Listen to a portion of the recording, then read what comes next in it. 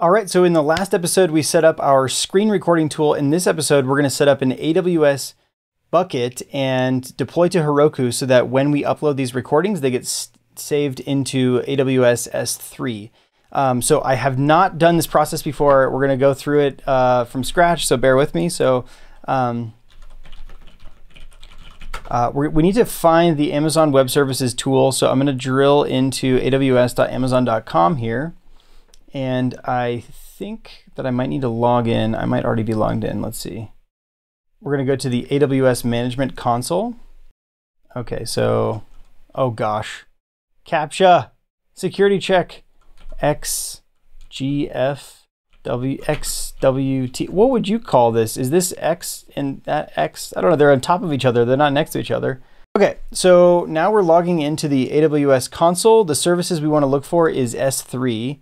So we're gonna just, I usually just command F S3 on this page because it's hard to find. They have so many different storage tools or so many different tools inside of AWS that uh, it can be a little intimidating. All right, now we want to create a new bucket. We're gonna say create bucket. I think you can technically do like mirroring also. So bucket name here, this is gonna be like record my screen.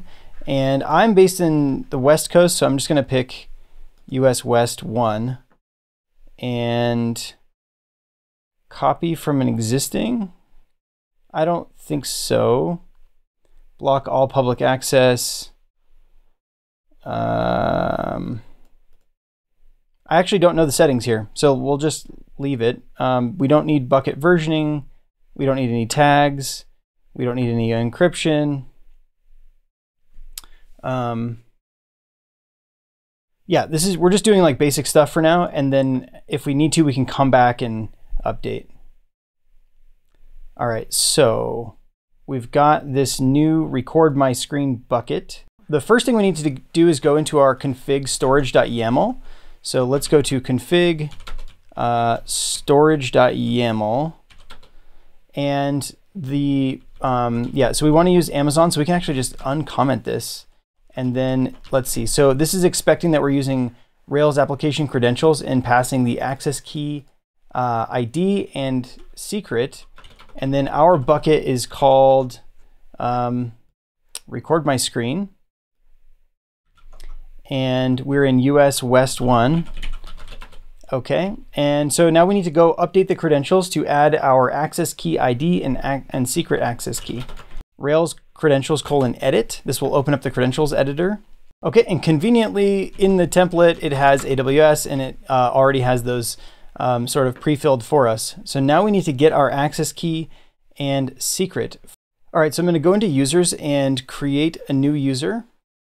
This is from my IAM settings, and the username is going to be record my screen, and we're going to give it programmatic access, and that's it. So we're going to go to permissions now, and this is going to be in the devs group. We don't have any tags. We're just going to review this programmatic access with an access key. We're going to create the user. All right, so now this, this is gonna be the access key ID that we're gonna copy and paste into um, this part of our credentials. The next part is to paste our secret access key. So I'm gonna say show, I'm gonna copy that, I'm gonna say hide, and then I'm gonna paste it here, and then I'm closing my credentials. Uh, so let's go over here and add everything to our, to get I believe we also need, when we're using S3, I think we also need a gem. Yeah, so we need this AWS SDK Ruby gem. Um, so we're going to add that AWS SDK S3, bundle install. So now I'm going to create a new Heroku app and push up to it. So Heroku apps create, record my screen. Let's see if this is taken. Oh, it's apps create. All right, so that worked. And now I'm going to say git push Heroku master.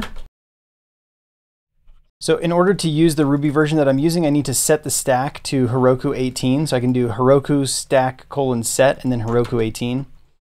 Um, and then I need to try pushing again. Git push Heroku master.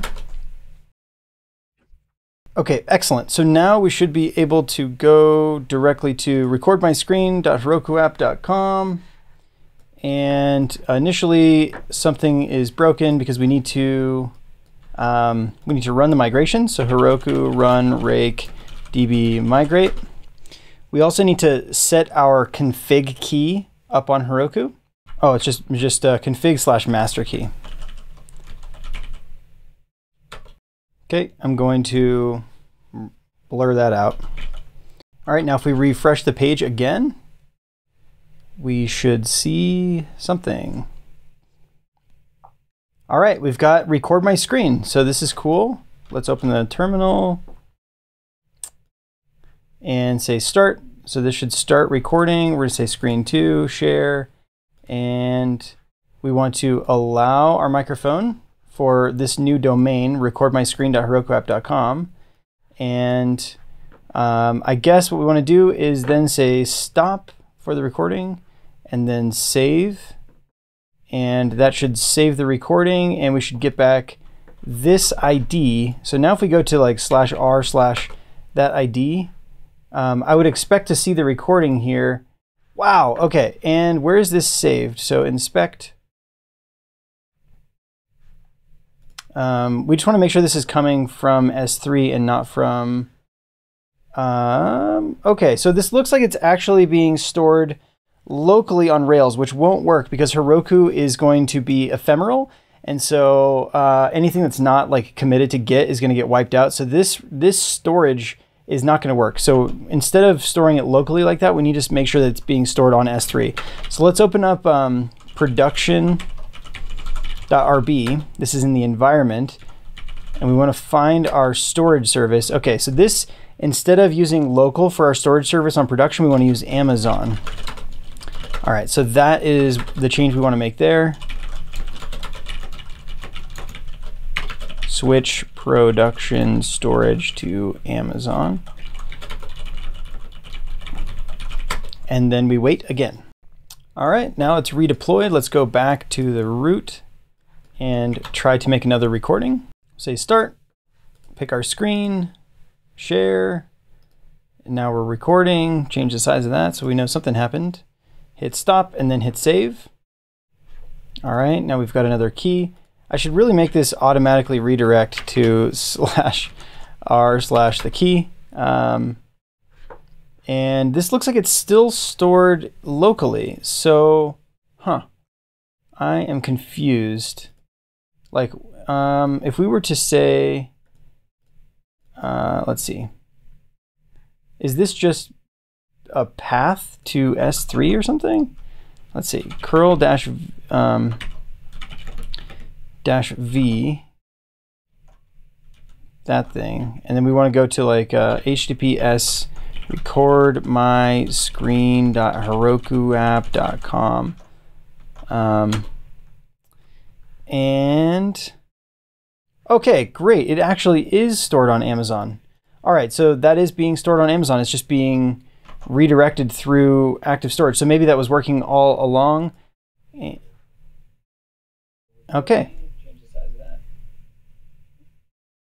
Yeah, so you can you can hear the audio and it's uploaded and now we could technically like share this link out.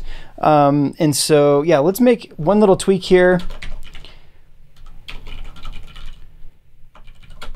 so that we don't have to like actually um, manually redirect anymore. Well, let's let's deconstruct this. Just pull out the key and we'll say window dot location dot href is equal to slash r uh, slash the key and that should automatically redirect us and that will make it a little bit easier to use. Um, let's also add a button on the show page to say like make another recording like a um, go back to slash and say like a new recording. All right, so that's it. So we got it. We went through the process of setting up a bucket on S3 and setting up an IAM user so that we had an access key. So we have some access keys for working with S3, and then we just set them in storage.yaml and started using them with Rails. And now that we are deployed to Heroku, as we record our screen and our audio, that is being uploaded to uh, that's being uploaded to Amazon S3, served from S3, and then is available here. So now we can take screen recordings and share out links um, directly. So um, hopefully this has been useful and interesting. Thank you so much for watching, and we'll see you in the next one.